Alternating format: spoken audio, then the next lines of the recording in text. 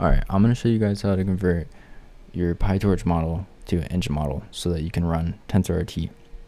And if you're skeptical on how fast Tensor is, I had this dude in my Discord server getting 10 FPS and then he switched to Tensor and he was getting 40, which is four times increase. Now, if you're getting like 60, you might get 100 FPS or 90, but still, you know, why not, right? And especially since I've made it so easy for you guys to do with my TensorRT installer that's on GitHub that you should star. You know what I'm saying? Anyways, um, if you don't have TensorRT, you're going to need it. Uh, so I'll put a video in the description on how to install it. And then once you get it, you can run uh, this code. If your model is like YOLO.pt, then you would put YOLO.pt here, but mine's best.pt. So that's why that's that. And then you want to put this the same name, just .engine instead of pt. And all this does is test the model.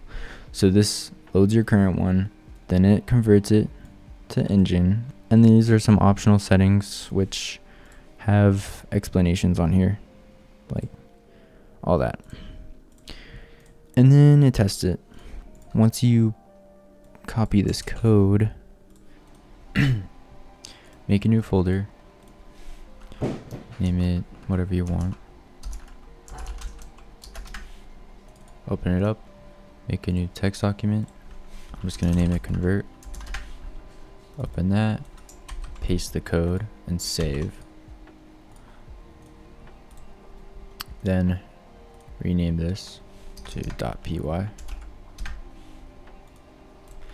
Then you want to find your best.pt or PyTorch model. And put it in this folder. Then you want to get an image if you're going to test. If you're not going to test, you can just delete this code and run it. It'll still work even if you keep this code and don't have an image in here. But I'm just going to put an image in here. So mine is right here and I it should be named test underscore detection dot jpeg. Then you can click in this empty space and type cmd, press enter, and then run pip install ultralytics. Press enter. When that's done, you can type python convert.py. So this will be whatever you named your your Python file. Press enter. Okay, so if you're using an image to test, it should look something like this when it's done testing. Um, this up here means that the export was successful. So you can close that and then you'll have this best engine file that you can use with your AI.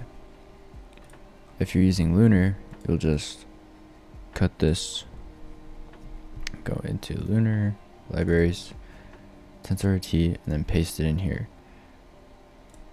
And then you can just replace. So yeah,